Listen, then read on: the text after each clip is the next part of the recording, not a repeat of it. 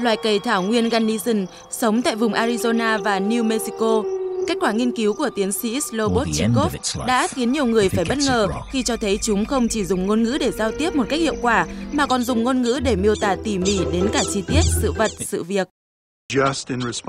Chẳng hạn khi cảnh báo có sự xuất hiện của con người, những âm thanh này không chỉ bao gồm thông tin về kẻ lạ mặt, mà còn chứa thông tin về hình dáng như béo hay gầy, kích thước và màu sắc quần áo mà người đó đang mặc. Theo phân tích âm học của loài cây này, những tiếng kêu mà loài này sử dụng như một hình thức đánh động thực chất là một đoạn thông tin được gửi đến cho đồng loại.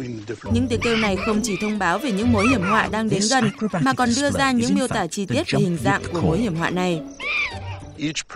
Chúng tôi tiến hành thử nghiệm với cùng một người, nhưng mặc những chiếc áo có màu sắc khác nhau, tiến vào lãnh địa của loài cây thảo nguyên, và tiếng kêu của loài này khi giải mã sẽ có chung những miêu tả về kích thước và hình dáng, nhưng khác nhau khi miêu tả về màu sắc.